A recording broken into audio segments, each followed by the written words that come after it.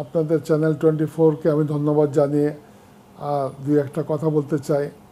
আমি গ্রামের ছেলে, আমার বাড়ি ফেনি।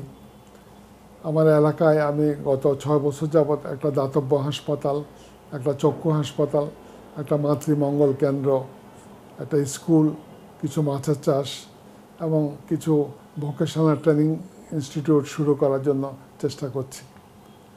এবং আলহামদুলিল্লাহ আল্লাহ রহমতে অলরেডি আমাদের ওখানে প্রায় দেড় হাজারের উপরে বিনামূল্যে চক্ষু অপারেশন হয়ে গেছে এবং কয়েক হাজার লোক চিকিৎসা পাচ্ছে ওখানে আলট্রাসোনোগ্রাম ইসিজি ডায়াবেটিক এবং বায়োকেমিক্যাল ব্লাড টেস্ট করি সব কিছু আমাদের ওখানে বিনামূল্য হয়ে থাকে।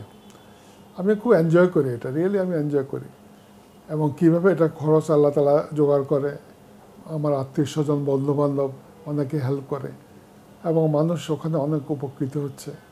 ভেরি রিসেন্টলি আমরা বিনামূল্যে ওখানে চশমা দেওয়া শুরু করেছি।